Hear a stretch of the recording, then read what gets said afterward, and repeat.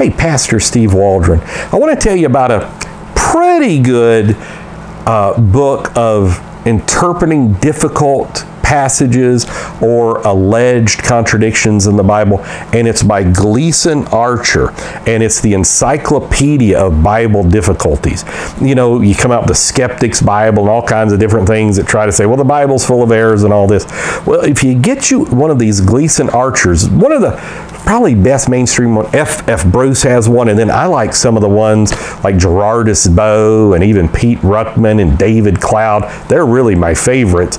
But Gleason Archers is a good one, and uh, Encyclopedia of Bible Difficulties. So it's just good to have around when you. What does that mean, or how does that contradict this or not contradict? Get one of those. Let's love the Bible. God bless you. Bye.